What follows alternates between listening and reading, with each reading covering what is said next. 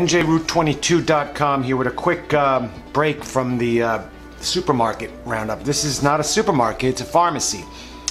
Rite Aid in particular. Here's my promo, I'm going to get rid of it.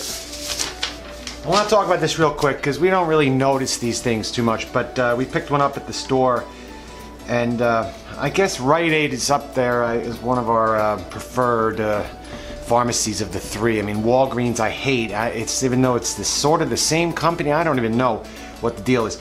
And CVS, uh, I'm not a huge fan. I don't know. I have a, a whole idea about pharmacies in general. Uh, it's kind of weird how they, you know, they're a pharmacy and sell medicine to help cure you, yet they have tons of junk that make you sick and probably part of the reason why you need pills to begin with, or diabetes medication. I don't know. It seems like a self-fulfilling business model. Here, here's the junk that you're gonna need to eat, and then, or want to eat, and then here's the pills you need when you get sick. I don't know. Uh, anyway, I noticed something interesting. They have these sales, and we typically try to only shop there uh, for most things when they're on sale. Like, for instance, vitamins. They have a buy one, get one free. That, that's not a bad deal. Although I'm not a big fan of their brands. Nature's Bounty is okay. It's probably the best of their brands. I'm not a big fan of Sundown Naturals. I think it's kind of something something's going on with that. It may not be the ingredients they say are in there. I've, I've, I've noticed minimal effects from the vitamins I've taken from that company. But anyway, um, I, I like Nutrition of the World now. Now vitamins seem to be, or supplements seem to be the best in our experience. But what I've noticed is that Rite Aid is kind of helpful here. They, they, they tell you where uh, you could find coupons in the Sunday paper. I don't know who buys the Sunday paper anymore. I guess a lot of the couponers out there do.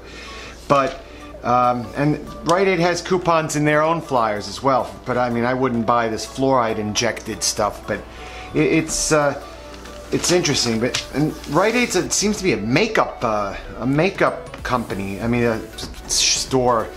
They sell so much makeup and, and all these lotions loaded with chemicals and stuff. I mean, the the percentage of their healthy and natural stuff compared to the, you know, chemical lab products like 10 to 1. Uh, Anyway, there's something interesting this week. There's this company called Hello that sells this charcoal uh, toothpaste, and this this is a good deal if you have one of those wellness cards.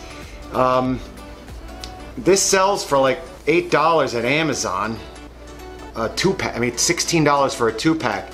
Here you get this uh, charcoal fluoride-free toothpaste for five bucks with, with your card, and you get five dollars back to spend on something else. So this is a good deal worth picking up this week. And you get two. Buy two for 10 bucks and then you'll get uh, $10 to spend on other stuff. That, that's, that's almost a no-brainer. And we like Tom's also, their fluoride-free stuff, but it's not always easy to find, believe it or not. And you get $2 back with that. Two for eight, so you end up paying $3 a tube. Um, the Rite Aid ad, believe it or not, it's, it's very well laid out. I, I like it. Uh, even though most of the stuff we, we wouldn't buy or don't need. I don't need sickness medication. I don't need eye drops. I don't need allergy. You know, for pain, we, we don't ever uh, experience pain. We don't need uh, uh, Advil or Tylenol. We use hyaluronic acid and turmeric and we never feel pain. So that's something you ought to consider if you want to do some research about uh, healthy alternatives to OTC medicines and remedies. Um, again, a lot of the stuff, like I said, I mean, most of their vitamins I wouldn't buy, except for Nature's Bounty, and even that, uh, God knows, there's probably someone out there that found something nefarious about that company as well. But uh, I guess I'm walking blindly down that path right now.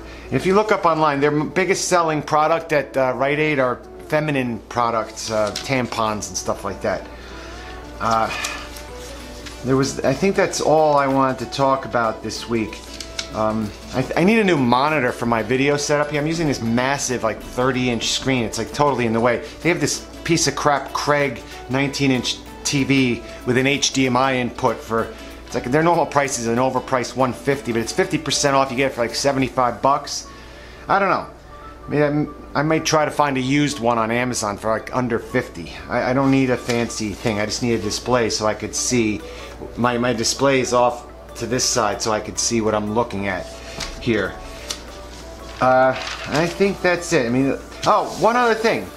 I mean, they have like the, like two coolers worth of food at this place, frozen or refrigerated. But they actually have a good deal on Oscar Mayer bacon this week, two for seven. And that's uh, under the threshold. We don't like paying more than four dollars a pound for bacon, so that's actually 3.50 a pound, and that's uh, that's a good deal if you like uh, Oscar Mayer bacon with the sulfites. Uh, I think I mentioned last week in my supermarket buy, Hormel makes a low sodium bacon that has sea salt in it instead of a refined salt, and that's been my go-to bacon. Whenever that's on sale, it's usually on sale for $3.99. I buy multiple packs to last me till the next sale, maybe a month worth, like four or five packs of bacon. Uh, watch the ingredients. Avoid plain old salt. If you see a sea salt instead of salt, that's a good, good, good score. And again, more junk here. Mints, candy. It's uh, it's just a fascinating uh, operation how they can play both sides of the aisle, so to say. Here, here's the candy you're addicted to, and then here's the pills that your doctor says you need. I still find that uh, fascinating. Uh, and that's that's about it for this quick, uh, well, not quick, it's over six minutes now. But yeah, that's, uh, what do you think of Rite Aid? It's, uh, it's an interesting, interesting place. So I don't think I'm going to do too many of these flyers unless I see another uh, interesting deal like that charcoal toothpaste. That's uh, that's interesting.